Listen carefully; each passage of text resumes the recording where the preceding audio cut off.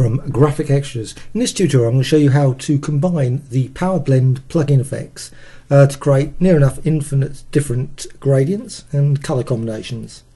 Now there's actually a gradient uh, already displayed that was created using the Power Blend. It's uh, The gradients are not the gradients from uh, uh, Photoshop, they're actually colour created gradients. So uh, the plugin uses the foreground and background colours so you can just set those to different colours. I'm just going to quickly set that to a different colour. Now go to filter, gradient, power blend.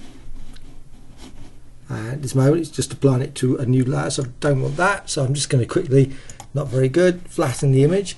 I'm just going to go back, gradient, power blend and I'm just going to reset it so it goes back to the default setting. I'm zooming a bit so you can see the gradient and the plugin works on the basis of combining different gradients. There's uh, three different gradients which you can combine and you can randomize through those quick and easy instead of going through all the different settings. You can just see different uh, gradients just going through there and radial glow and so on and so on. But I'm just going to randomize it so it's just quick and easy way to so I'm just going to say that one. I like that one so I can click OK at that point. Of course you can now use the good old edit fade gradient and difference or darken and so on and so on. So straight away you've got different uh, colour effects can be achieved just by using the, the Photoshop standard blends.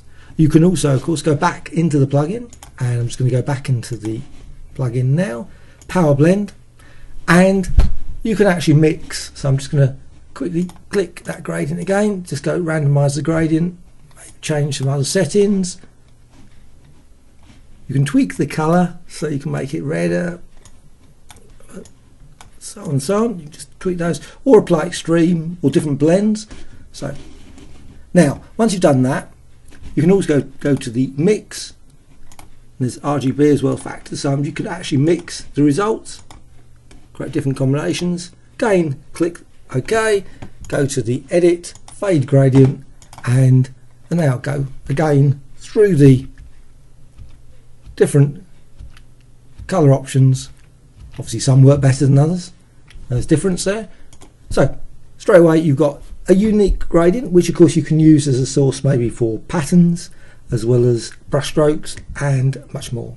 Obviously combine it with other images or use it as background or overlay etc